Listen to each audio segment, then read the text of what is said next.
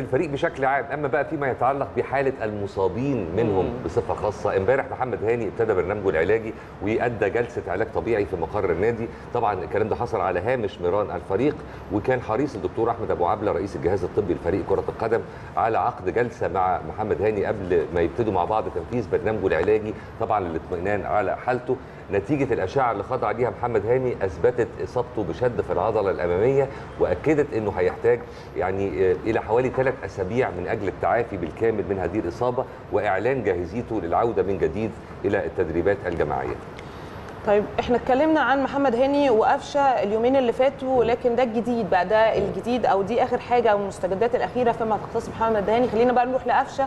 حالة قفشه كمان الدكتور أحمد أبو عبلة قال إنه أدى جلسة علاج طبيعي امبارح في بداية برنامجه العلاجي لتجهيزه للعودة من جديد للمشاركة في التدريبات الجماعيه وقال كمان إن أفشة هيبدأ في تنفيذ جلسات خفيفة في الجيم اعتبارا من النهارده. وحرص الدكتور أحمد أبو عبلة على عقد جلسة مع اللاعب اللاعب للإطمئنان على حالته قبل تنفيذه البرنامج العلاجي والتأهيلي.